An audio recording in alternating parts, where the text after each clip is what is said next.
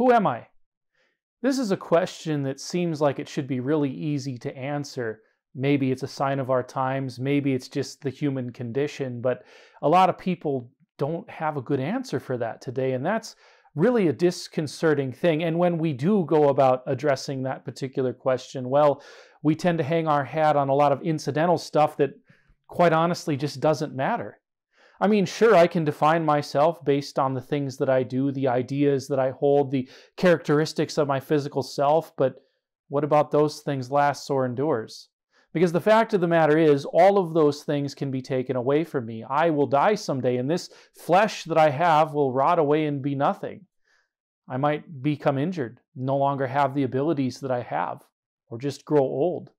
I might change my interests, something that I took for granted about my person, some idea that I hold that I define myself by, conservative or liberal, uh, American or some other nationality. Well, that might change. I could move, I could go somewhere else.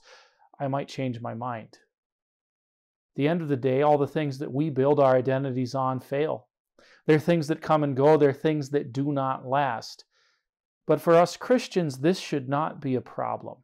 The reason for this is, is that our identity is built on Christ. You see, we have a God who made us, a God who created us from nothing, who breathed life into us.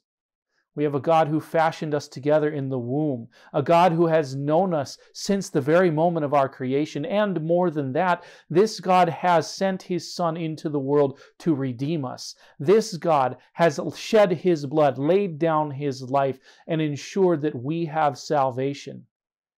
This means something very important. You see, there are two things that are always true about who we are, no matter what else we can say about ourselves. We are made by God. And that means that we always have a value and a purpose here, even if we can't always see it. And we are redeemed by God.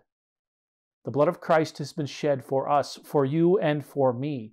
The blood of Christ covers up our sins, and because of that, two things will always be true about who we are. Firstly, that we are made by God, and secondly, that we are redeemed by Him. And being redeemed by God is no small thing. Because no longer are we mere creatures of God. No longer is our identity before God the Father sinner, condemned, or worthy of destruction. No, now we are saved. And that means that we are no longer in those categories. We are now something very special.